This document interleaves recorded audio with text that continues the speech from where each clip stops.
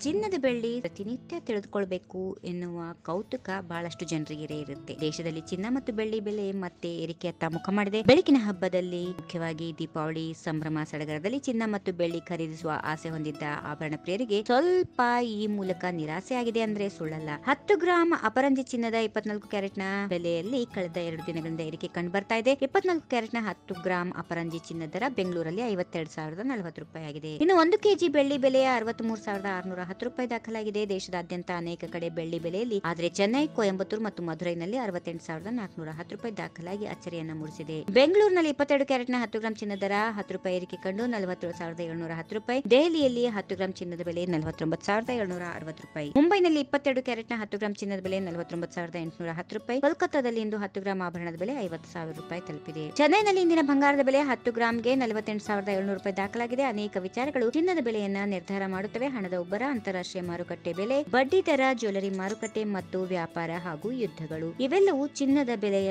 ಏರಿಳಿತಕ್ಕೆ ನೇರವಾಗಿ ಕಾರಣವಾಗುತ್ತವೆ. ಈ ವಿಡಿಯೋ ನಿಮಗೆ ಇಷ್ಟವಾದಲ್ಲಿ ಲೈಕ್ ಮಾಡಿ, ಶೇರ್ ಮಾಡಿ, ಸಬ್ಸ್ಕ್ರೈಬ್ ಮಾಡಿ.